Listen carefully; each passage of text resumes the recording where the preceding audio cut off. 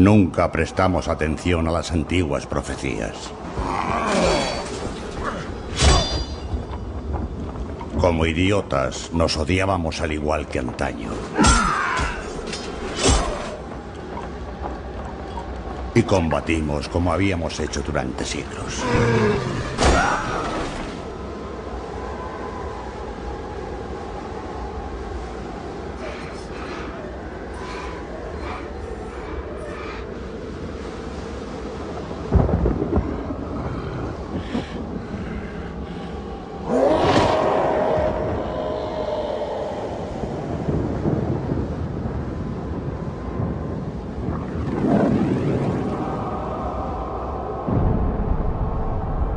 Hasta el día que llovió fuego del cielo y el nuevo enemigo cayó sobre nosotros.